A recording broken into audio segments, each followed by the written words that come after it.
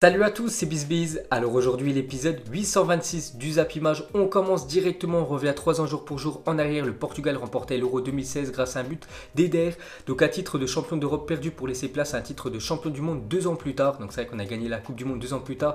Mais perdre quand même une finale euh, d'une grande compétition qu'est l'Euro, bah, ça fait mal. Surtout qu'on était le pays organisateur. La France, on a perdu contre le Portugal. Pourtant on a eu, on n'a pas eu de chance à ce match. Je me souviens, on a touché le poteau avec André Pierre Gignac.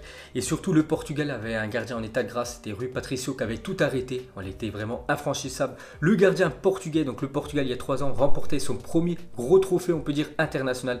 Et trois ans plus tard, il gagnait même son deuxième gros trophée, la Ligue des Nations. Ensuite, on va sur le continent euh, africain. On va parler de la Coupe d'Afrique des Nations. Et hier, c'était les deux premières affiches euh, des quarts de finale. On commence avec le Sénégal contre le Bénin. Et c'est les Sénégalais qui sont imposés à 0. Donc c'est Idrissa Gueye qui a marqué l'unique but de la rencontre, le milieu de Everton qui était pisté par l'équipe du Paris Saint-Germain en janvier dernier. Donc le Sénégal se qualifie pour les demi-finales de la Coupe d'Afrique des Nations. Donc ils joueront soit contre Madagascar, soit contre la Tunisie. C'est l'autre quart de finale ce soir. Et l'autre affiche qui avait lieu hier soir, c'était le Nigeria contre l'Afrique du Sud. Et les Nigérians sont imposés 2-1. Donc eux joueront soit contre la Côte d'Ivoire, soit contre l'Algérie. Et pour finir avec cette Coupe d'Afrique des Nations, regardez euh, bah, les affiches de la journée. Donc ce soir 18h, énorme choc Côte d'Ivoire contre l'Algérie sur Bein 1. Et ce soir 21h aussi, le petit pousset Madagascar contre la Tunisie. Ensuite les gars, on revient en Europe. On va parler de Daniel Derossi a décidé de mettre un terme à sa carrière de footballeur. Donc il y a quelques semaines, il a dit qu'il arrêtait avec l'équipe de l'AS Roma. Il voulait aller voir ailleurs et en fait, il a réfléchi depuis et tout simplement, il va arrêter euh, sa carrière de footballeur. Donc il a 35 ans Daniel Derossi. Donc il a fait une immense carrière du côté de Rome. Ensuite, euh, une déclaration de Eder Militao qui a été présentée hier par le Real Madrid, parce qu'il a joué la Copa América, c'est pour ça qu'il a été présenté beaucoup plus tard que, on peut dire, Eden Hazard, que Jovic ou même que Ferland Mendy.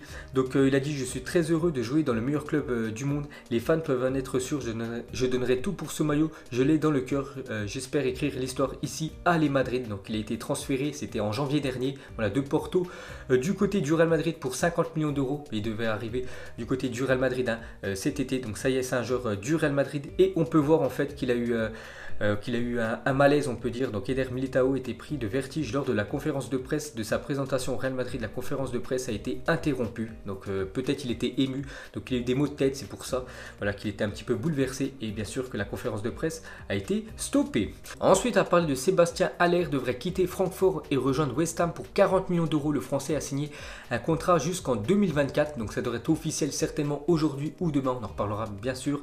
Donc il devrait remplacer Ardotovic. On a parlé, hein. L'attaquant autrichien a quitté la première ligue. Il a rejoint l'équipe de Shanghai en Chine. Donc euh, tout simplement, voilà, Aller hein, devrait le remplacer. Ça devrait être un transfert aux alentours des 40 millions d'euros. Ensuite, officiel, Divock Origi signe un nouveau contrat long terme avec Liverpool. Donc pour le héros hein, des Reds, on peut dire en Ligue des Champions. Regardez quand même ses stats cette année en Ligue des Champions. 3 tirs en Ligue des Champions et 3 buts, quand même 2 en demi-finale euh, retour contre l'équipe du FC Barcelone et 1 en finale contre l'équipe de Tottenham. Donc il était euh, décisif dans les grands rendez-vous, on peut dire euh, Origi. Et on peut voir que Liverpool reprolonge son contrat. Donc très bonne nouvelle pour le Belge. Ensuite, à parler de Samuel Umtiti a écourté ses vacances qui ont débuté le 12 juin dernier afin de s'entraîner en solitaire au centre d'entraînement du FC Barcelone et commencer la saison 2019-2020 à son meilleur niveau après ses déboires physiques la saison dernière. C'est que l'année dernière, tout simplement, il a perdu sa place hein, quand même depuis la fin de la Coupe du Monde. Il a beaucoup de mal avec l'équipe du Barça. C'est Clément Langlais maintenant qui est titulaire indiscutable. Avant, c'était Umtiti, mais il a perdu sa place tout simplement à cause de ses blessures. C'est pour ça qu'il a repris l'entraînement une semaine avant tous les autres. Donc, euh, une petite info sur euh, Umtiti. On peut voir qu'il y a aussi deux autres Français de l'équipe du Barça qui ont repris l'entraînement. On a parlé il y a quelques jours de Ousmane Dembélé. Il y a aussi Todibo, le défend, enfin ancien défenseur euh, de Toulouse qui a signé du côté du Barça, qui s'entraîne. Hein.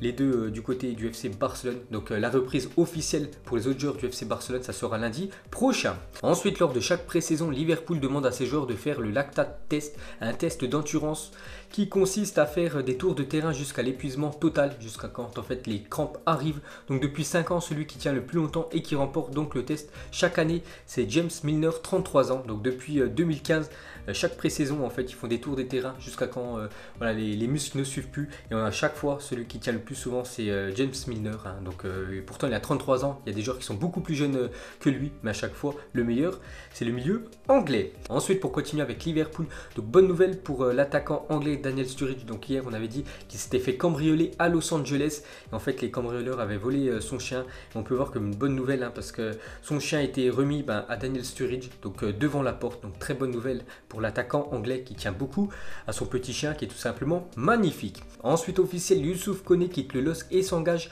à l'Olympique Lyonnais pour 9 millions d'euros. Donc après Thiago Mendes qui a signé au club de Lyon, c'est Youssouf Kone, aussi très bon joueur de Lille l'année dernière, donc défenseur gauche tout simplement. Il va remplacer Ferland Mendy qui est parti lui du côté du Real. Ensuite officiel, l'AC Milan dévoile son nouveau troisième maillot pour la prochaine saison. Donc euh, voilà, c'est des fans de l'AC Milan les gars. Regardez le maillot officiel de l'équipe pour la prochaine saison. Ensuite, pour continuer avec la ville de Milan et les deux clubs, donc l'Inter et le Milan AC, donc ils ont présenté aujourd'hui le nouveau projet de stade. Il s'agira d'une enceinte de 60 000 places qui créera 3500 euh, emplois et qui devrait coûter environ 1,5 milliard d'euros. Parce qu'on a parlé que l'ancien stade mythique, le San Siro, devrait être euh, détruit et devrait construire un nouveau stade à la place. Donc ça sera un stade de 60 000 places. Je crois que le San Siro était, il y avait plus euh, de places, mais bien sûr là, ça sera un nouveau stade dernier cri. Donc une petite info sur le stade de l'Inter et du Milan AC. Ensuite, regardez le 11 type de la Copa América sélectionné par la Kumball et son équipe technique constituée d'entraîneurs. Donc voilà les meilleurs joueurs de cette Copa América. On peut voir quelques joueurs qui évoluent en Ligue 1, surtout euh, côté Paris Saint-Germain, dont euh, Thiago Silva, le défenseur brésilien. La même chose pour le milieu euh, argentin Paredes, voilà, qui joue pas trop au Paris Saint-Germain, mais en Argentine. Hein. il a fait une bonne Copa América. Il a été dans cette équipe-là et aussi le défenseur droit du Paris Saint-Germain, enfin ancien joueur qui quitte le club, Dani Alves. On peut voir que Everton, celui qui remplace Neymar, est aussi dans cette équipe. Ensuite, on va souhaiter un joyeux anniversaire à Johan Gourcuff qui fête aujourd'hui ses 33 ans pour l'ancien joueur de Lyon, ancien joueur de Bordeaux, ancien joueur aussi du Milan C. Il a gagné quand même la Ligue des Champions euh, Gourcuff en 2007 quand le Milan C a remporté le trophée. Bon, je ne sais pas s'il avait euh, joué euh, dans le match, mais il était dans le groupe. Hein.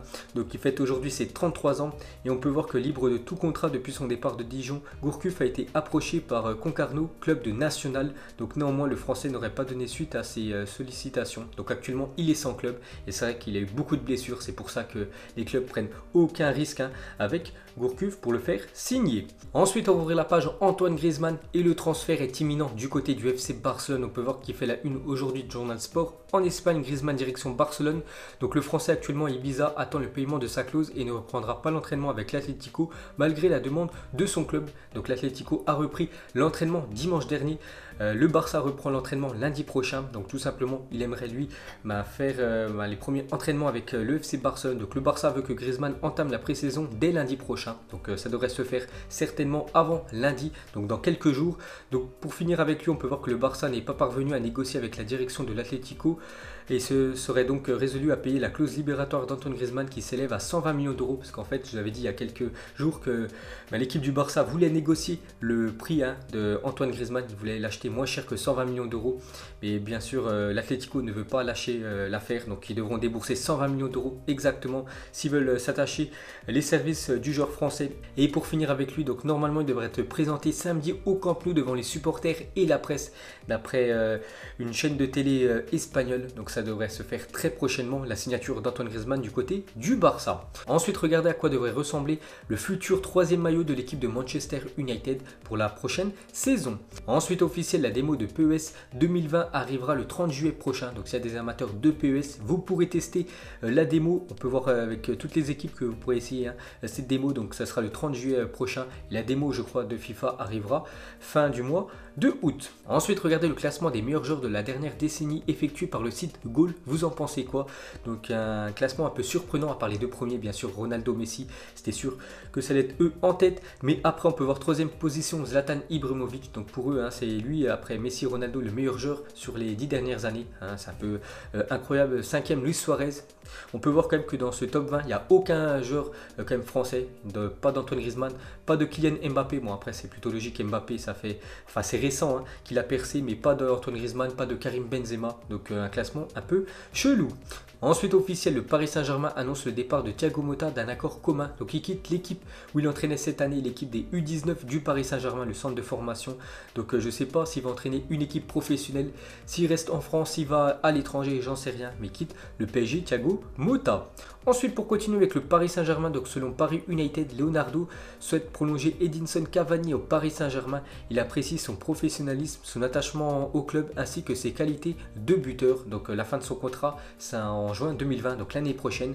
Et euh, Leonardo, nouveau directeur sportif du Paris Saint-Germain depuis quelques jours, veut reprolonger euh, Edinson Cavani. Maintenant, est-ce que le joueur uruguayen va accepter ou pas? Ensuite, la Juventus a offert 67 millions d'euros à l'Ajax Amsterdam pour Mathis Delay, mais le club néerlandais ne cédera pas pour moins de 75 millions d'euros. Donc les Bion Connery devraient formuler une nouvelle offre dans les prochaines heures afin de clore le dossier cette semaine. Donc enfin, on peut voir le dénouement quand même de Mathis Delay. Donc ça fait longtemps hein, on sait qu'il va quitter l'Ajax, ça fait longtemps qu'on sait qu'il devra aller du côté de la Juve, mais c'est toujours pas euh, fait, on peut dire, et ça devrait se faire dans les prochaines heures, parce que ça devrait se faire aux alentours des 75 millions d'euros. Ensuite, à parler de la Fiorentina, qui a gagné hier son match amical 21-0 contre une équipe de 9e division italienne. Donc euh, le club s'appelle Valdi Fassa. Donc euh, après, bien sûr, il y a un écart de niveau à 9e division contre une équipe de Serie A.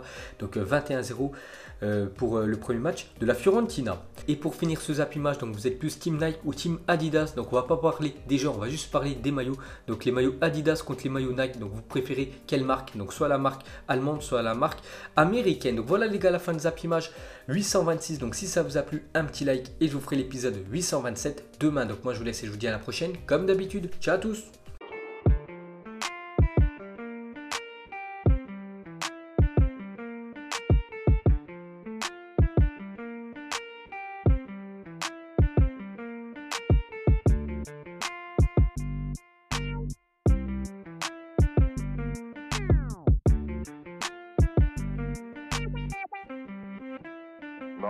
little.